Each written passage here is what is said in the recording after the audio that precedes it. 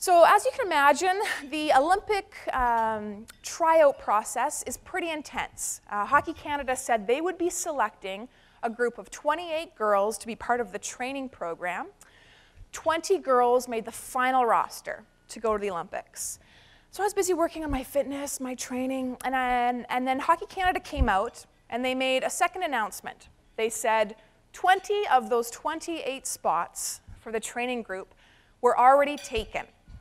So I thought that's a touch unfortunate, is what I thought when I heard that news. But there were still eight spots left. So 20 uh, spots were given to the girls that went to the World Championships, which was fair. So eight spots left. I went to an evaluation camp, got a call a few weeks later, and I was told that I would be one of the final players that made this training group. So I was excited, but I also knew that that was one step. And my ultimate goal was to make that Olympic team, the final roster of 20 players. And for us, it's a pretty intense process, physically, emotionally, very demanding. And the coaches could make releases at any point. So, any month, any week, any day, they could call players in the office and release them from the program. So, we had no idea when those decisions would be made. But it also taught us about focusing on the things that we could control.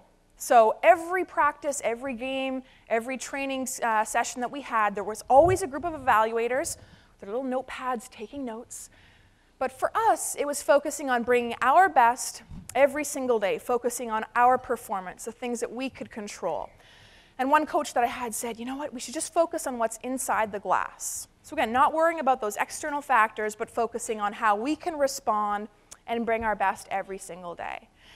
I also said I want to be a great teammate. So if I was on the ice, in the locker room, I wanted to make sure that others were better because I was there. And I made it through the first few releases. And there was this one day in December that I remember very clearly. And they told us that they would be naming the final Olympic team. So I woke up that morning, and if you can think of a time if you've been a little nervous or excited or had a little, little case of the butterflies in your stomach, and I woke up that morning knowing I was about to find out.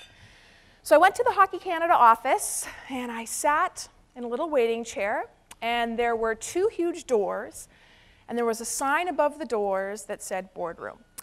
And there was a secretary there, and uh, the whole scene was a little bit like the show The Apprentice, any, if anyone's seen the, the end of The Apprentice.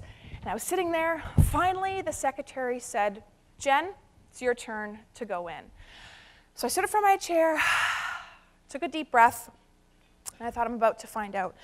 So I took a few steps forward, and I opened these two huge boardroom doors. So I opened the doors.